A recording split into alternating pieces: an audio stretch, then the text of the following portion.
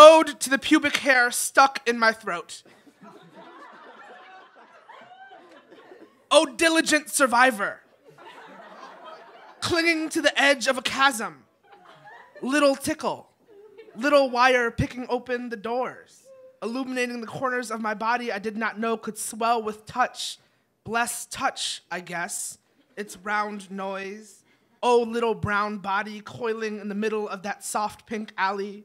How lonely it must be to come from de- to come from desire, but end where light ends. Son of the floorless prayer, son of the O horizon, remind me what it's like to speak without a white man flickering in my throat. O small equator, making every story a ruined portrait. Bless the fault line beyond my reach. Little fracture in my speech, little secret I keep trying to cough up, but instead cause my mother to worry and raise her small hands to my forehead.